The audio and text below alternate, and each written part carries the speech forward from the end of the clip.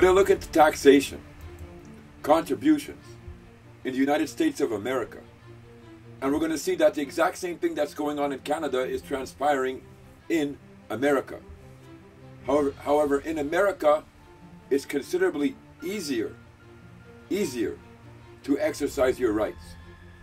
Now, most of you watching my videos, right, you know about the U.S. reservations, declarations, and understandings concerning the International Covenant on Civil and Political Rights.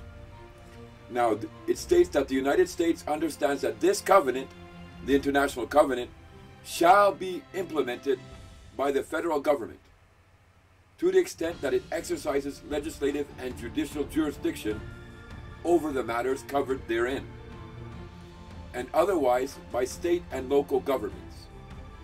And they have to take the appropriate measures for the fulfillment of the covenant. Now remember that in the United States of America, the provisions of the covenant, Articles 1 through 27, are not self executing. There's something you have to claim. There's something that you have to stand under and invoke in order to have the operations of law that are attached to those articles. If the matter, the subject matter that you're going through with the government is from the federal government, then the obligation falls on the federal government to allow the appropriate measures for the fulfillment of the covenant. So when you look ta- into taxation, right, into contributions, this is a federal matter according to domestic law, according to internal law. It's a federal matter. So therefore, it's the federal government that has the obligation. It's the federal government who needs to be dealt with. In the U.S. Code 7701 definitions, we're looking into that. It says, when used in this title, were not otherwise distinctly expressed or manifestly incompatible with the intent thereof. The term person shall be construed to mean and include an individual, a trust, estate, partnership, association, company, or corporation. So when you use the word person, the term person, it can mean any one of those subjects, any one of those players. Now, when you look at the term taxpayer, the term taxpayer means any person subject to an internal revenue tax. All right, so if we apply the term person to taxpayer, well, then it looks like it could mean an individual, right? Or a trust, estate, partnership, association, company, or corporation. If we just stop there, right, then where it says the term taxpayer means any person, well, we could go back up to the word person and exchange the definition there. And we can insert, well, a trust or an estate is subject to internal revenue tax, or a partnership is subject to internal revenue tax, or an association is subject to internal revenue tax, or an individual. But if we go lower, right, and we read here trade or business, the term trade or business includes the performance of the functions of a public office. So here we're learning that if you partake in trade or business, then the US Code is declaring that you are performing the functions of a public office. So most people, right, who go to work, most people who are employed, well, they're employed in trade or in business. And therefore, if they're employed in trade or business, then they're performing the functions of a public office according to their law. And if you're considered to be operating in a public office, then you're operating as a public officer. And therefore, you're no longer standing as an individual under your fundamental rights, but you're standing as a corporate officer. And the law is no longer recognizing you under your natural capacity. The law does not recognize you as a man or a woman.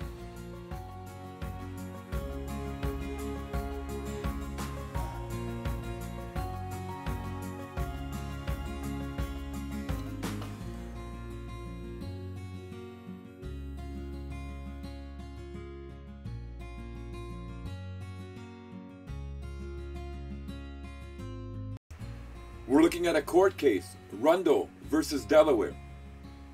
And it states a corporation cannot sue or otherwise contend, argue, or fight with a living natural man or woman. So the courts have already declared, right, that a corporation cannot contend or cannot sue a living man or a natural woman. Therefore, in order to sue you and contend with you in court under the IRS, under income tax, they have to change your designation before them. They have to change your standing before them. That's why you're seeing that if you partake in business or trade, which makes you a taxpayer, then you are considered a public officer operating in a public office. This is why, when we looked at the definition of the United States under the federal income tax enactment, we find the following. In U.S. Code 3001, it says, in general, except as provided in subsection B, the chapter provides the exclusive civil procedure for the United States. All right, what United States are they talking about? A geographical location or something else? And it provides the exclusive civil procedure to recover a judgment on a debt.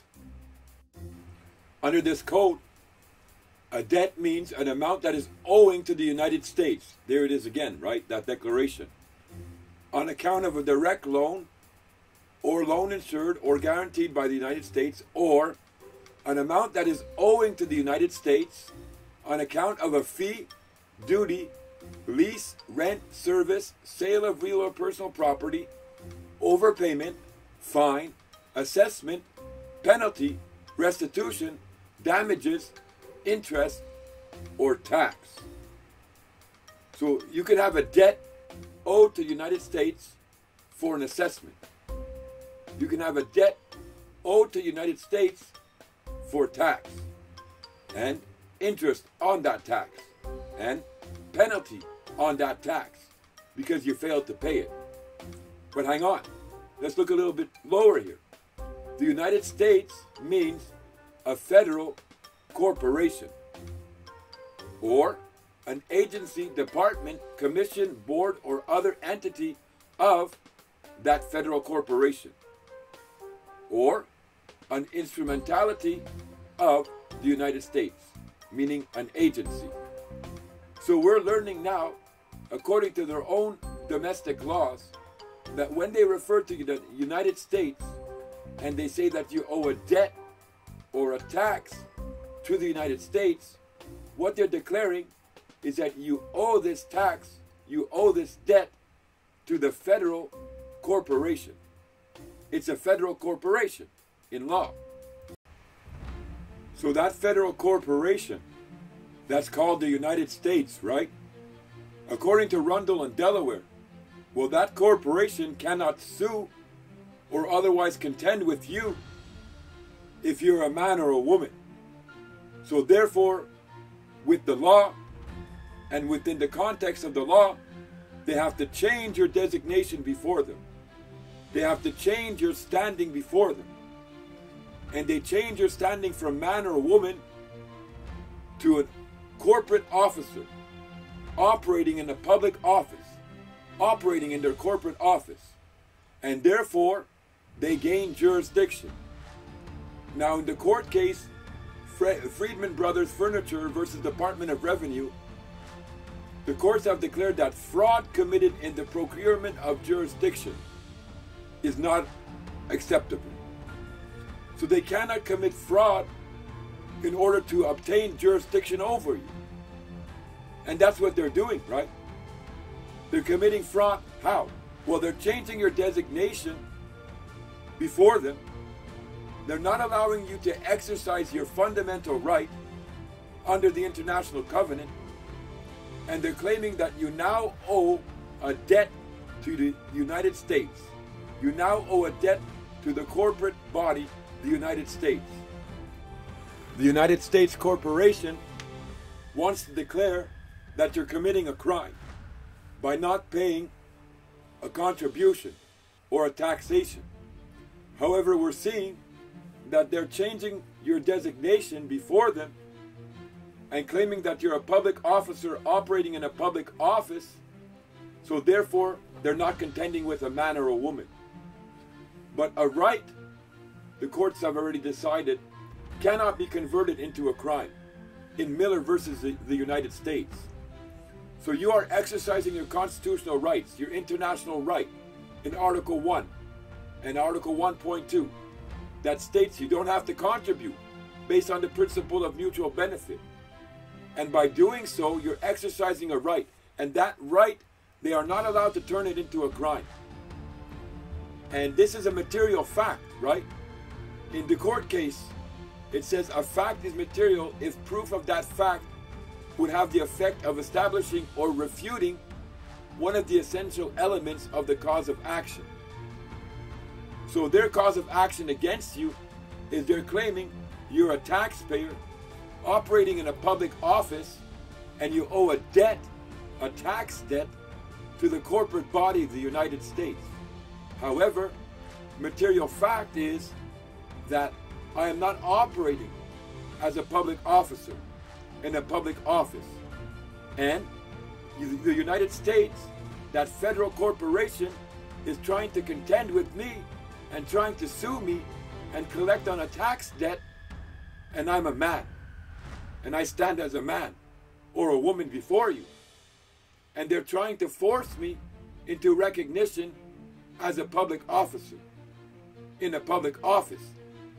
However, that action goes against my fundamental right as enumerated and listed in the international covenants, Article 16 and Article 1 and Article 47. So, therefore, the United States, that corporate body, is operating in dishonor and is trying to limit and abridge my fundamental right.